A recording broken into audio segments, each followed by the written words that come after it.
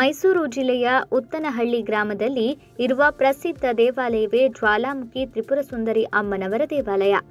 ಈ ದೇಗುಲವನ್ನ ಉತ್ತನಹಳ್ಳಿ ಮಾರಮ್ಮ ಎಂದು ಕರೆಯುತ್ತಾರೆ. ಚಾಮುಂಡೇಶ್ವರಿ ತಾಯಿಯ ತಂಗಿ ಅನ್ನೋ ಸ್ಥಾನವನ್ನ ಉತ್ತನಹಳ್ಳಿಯ ಮಾರಮ್ಮ ಪಡೆದಿದ್ದಾಳೆ.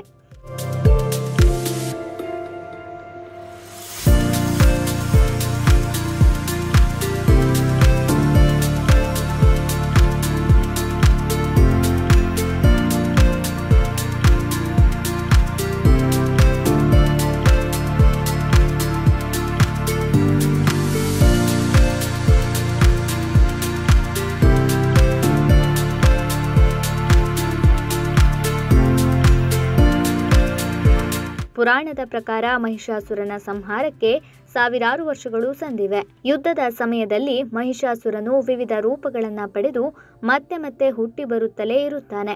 ಈತನ ರಕ್ತದಿಂದ ಮತ್ತಷ್ಟು ರಾಕ್ಷಸರು ಹುಟ್ಟಿಕೊಂಡು ಬರುತ್ತಾರೆ. ಇದನ್ನ ಇಲ್ಲವಾಗಿಸಲು ಚಾಮುಂಡೇಶ್ವರಿ ಈ ತ್ರಿಪುರ ಸುಂದರಿಯನ್ನ ಸೃಷ್ಟಿಸಿದಳು ಅನ್ನೋ ಪ್ರತೀತಿ ಇದೆ.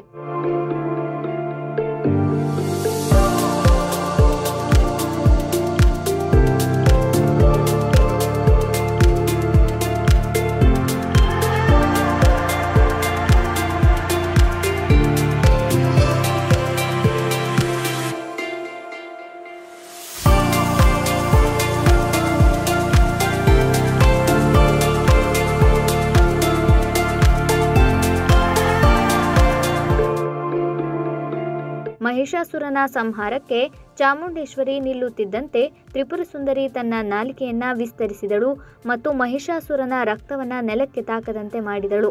ಈ ಮೂಲಕ ಮಹಿಷಾಸುರನ ಸಂಹಾರ ನಡೆಯಿತು ಅನ್ನೋ ಪುರಾಣದ ಕಥೆ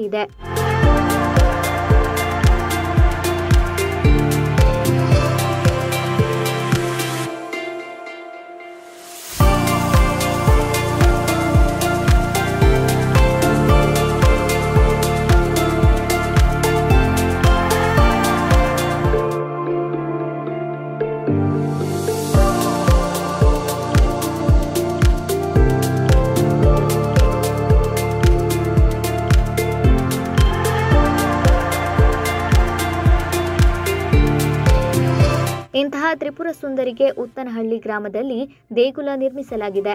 ಈ ದೇವಸ್ಥಾನವು ಚಾಮುಂಡಿ ಬೆಟ್ಟದ ತಪ್ಪಲಿನಲ್ಲಿದ್ದು, ಶ್ರೀ ಜ್ವಾಲಾಮುಖಿ ತ್ರಿಪುರ ಸುಂದರಿ ದೇವಾಲಯದಲ್ಲಿ ನಿಂತು ನೋಡಿದರೆ ಚಾಮುಂಡೇಶ್ವರಿ ತಾಯಿಯ ಗೋಪುರವನ್ನ ಕಾಣಬಹುದು. ಈ ದೇವಿಗೆ ತಮ್ಮ ಕಷ್ಟಗಳನ್ನ ಪರಿಹರಿಸು ಎಂದು ಮಡಲಕ್ಕಿಯನ್ನ ದೇವರಿಗೆ ನೀಡುತ್ತಾರೆ. ಜೊತೆಗೆ ದೇವಸ್ಥಾನದಲ್ಲಿ ಹೂವಿನ ವರವನ್ನ ಸಹ ಪಡೆಯುತ್ತಾರೆ. ಮೂಲದೇವರು ಜ್ವಾಲಾಮುಖಿ ತ್ರಿಪುರ ಸುಂದರಿ ಅಮ್ಮನವರ ಜೊತೆಗೆ ಸಿದ್ದೇಶ್ವರ ಸ್ವಾಮಿ ಮತ್ತು ಕಾಳಭೈರೇಶ್ವರ ದೇವರ ದರ್ಶನವೂ ಪಡೆಯಬಹುದಾಗಿದೆ.